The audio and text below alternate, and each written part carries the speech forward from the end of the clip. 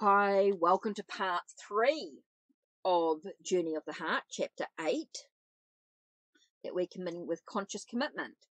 So we're up to number so we're um up to number four, going beyond me first. Intimate relationships always ask us to give up something we cherish. Certain favourite privacies, preference, or ways of staying securely defended. They require us to take a leap beyond our usual style of defending our personal territory. So, a further step in the development of an organic commitment is for a couple to explore their willingness to come out of hiding and leave behind old egocentric attitudes and behaviors. Going beyond a me first attitude involves relaxing the demands and expectations I place on my partner, expanding my concern for her well being, and becoming more sensitive to the needs of the relationship as a whole, beyond what just feels personally safe and comfortable. In giving up territory and caring for my partner's well-being, I start to cast in my lot with with them. I no longer I am no longer the sole center of my life. Those of us who find going beyond a me first attitude difficult may be tempted to choose a way of life other than a committed relationship. Yet, if we deeply examine what is most important and satisfying in life, we may find that we feel most alive when we can step out of the confines of our usual self absorption. The Russian theologian, theologian Sol, Solovov wrote that erotic love is the most powerful means for overcoming our usual habit of ascribing absolutely absolute significance exclusively to ourselves while denying it to others. Recognizing the absolute significance of this other, we love who is wholly different from us, expands our horizons, and opens us more fully to life as a whole. Number five, developing a vision and making a choice. The more two people help each other work with whatever arises, including the whole of themselves in their relationship, and expand their boundaries, the more they appreciate how they are serving each other's unfolding. This helps them develop a clear vision of what they are doing together, which in turn allows them to make a conscious choice to be together. It is odd how many people wind up married without ever having consciously chosen to be in a committed relationship and remain in the marriage half heartedly forever finding reasons for complaint and dissatisfaction. So it is important to see clearly what commitment involves, and if that is what we want to choose, it is a way of life, then whatever difficulties arise can become part of our journey rather than reasons to complain or bail out.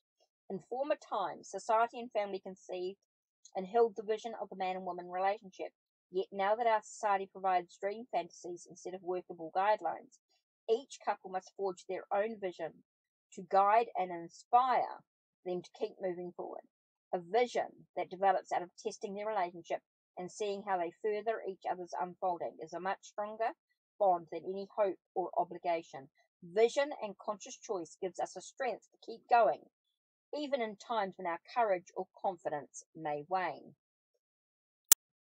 Commitment as a path as path. If a couple can remain awake while moving through these stages, making a connection, working with what comes up, including all the different sides of themselves going beyond me first, and forging a vision, their commitment will naturally be more conscious. If you trace what went wrong in a previous relationship or marriage that did not work out for you, you'll probably find that you got involved in it without really knowing what you were doing. Either your connection was not that strong to begin with, or else you did not know how to work with the difficulties that arose. Now imagine doing it differently the next time. You feel a deep, passionate resonance with your partner, and you both care about each other's unfolding. You test things out for a couple of years until you are satisfied that you can work with whatever comes up and include all of yourself in the relationship. You are both learning to give of yourselves and stretch your boundaries. You develop a strong vision about why you are together in such a case. What would prevent you from sharing a life together? Conscious commitment is a pact between beings rather than between personalities. In effect, your partner and yourself say to each other, whatever problems our personalities have together, we will not let them get between us. If our egos are at war, we will not let that ruin our deeper connection. We will always come back and meet on this deeper level. We will help each other wake up and become all that we can be. We will keep opening to each other and to life itself in and through this relationship. Without such an alliance between our beings, our egos will likely conspire to perpetuate old habitual patterns, and the container we create may become a prison or a hollow shell. Conscious commitment is to being together, not just staying together. Of course, two partners may connect deeply on the being level, yet still be unable to work things out on the personality level. That is why the testing stage is so important. If they cannot find ways to work on things together, it means that their personality conflicts are more powerful than their being connection. Therefore, they cannot move toward greater commitment.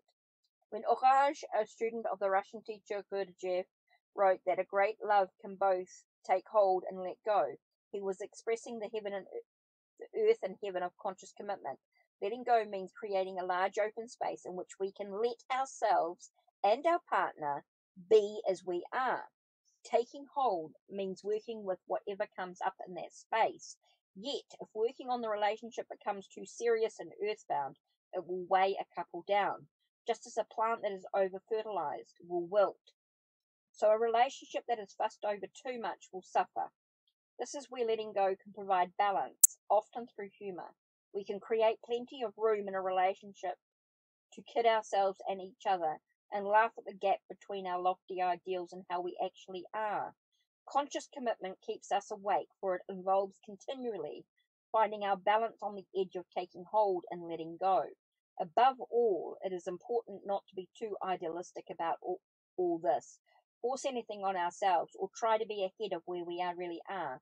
Approaching commitment as a should only makes us go unconscious, setting us up for further difficulties or failures.